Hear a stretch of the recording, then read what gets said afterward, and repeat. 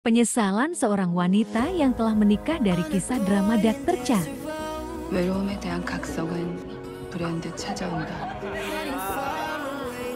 우아하고 완벽했던 나의 아름다운 가족. 그들에게 난 무엇이었을까? Karena cinta, dia membuang cita-citanya dalam sekejap. Masa muda dan impian pun harus ditinggalkan demi sang buah hati dan menjadi seorang ibu. Penyesalan selalu datang di akhir. Pengorbanan cita-cita demi keluarga belum tentu membuat masa depan bahagia. Menjadi ibu rumah tangga ternyata lebih berat dari yang dibayangkan. Jangan sia-siakan masa mudamu sebelum kita siap menjalaninya. Malu menggunakan uang suami karena tidak bekerja membuat Cha Jong Suk tidak pernah memanjakan dirinya.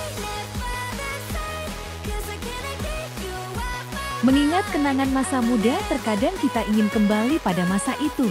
Di kehidupan nyata kemungkinan kecil, kita bisa meraih kembali cita-cita tersebut.